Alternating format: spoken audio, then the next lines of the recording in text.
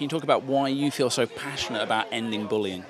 Um, obviously, uh, it's well documented that I suffer from an eating disorder for from the age of 10 to about 22, uh, and a lot of that came from the offset of bullying. Um, when I sort of hit puberty at, at, the age of 10, which is quite early for a young girl, you know, things started to change in terms of the way that girls were towards me and jealousy and nastiness. And unfortunately, bullying blighted and almost ended my life. Um, so that's why I'm really passionate about it because I fought back and, you know, I, I was very blessed to have a lovely family and, and support system, but I suffered for years in silence. And I just think this is just a, an amazing way of trying to say, look, you can talk and we're here and we're all aware of it happening and there's no shame in it. So, yeah, I, I feel very passionate about being here today. It's great.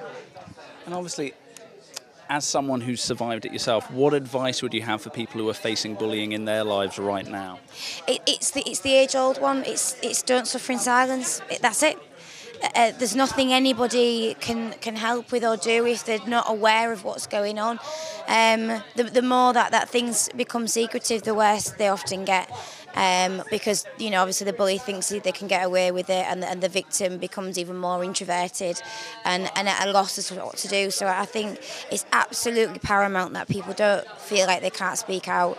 Um, and, and be scared of the consequences of doing so because there are no consequences. The consequences are that they will be scooped up with love and support uh, and a network system, which, you know, hopefully this is all about really, you know, making sure that young people know that there's something out there, um, you know, for them to reach out to.